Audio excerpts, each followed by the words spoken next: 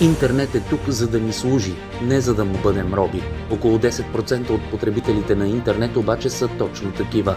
Една трета от младите хора до 29 години споделят, че стават неспокойни, ако забравят телефона си, изнервят се или им е скучно, ако няма интернет. Връзките им са в социалните мрежи и в сайтовете за запознанства.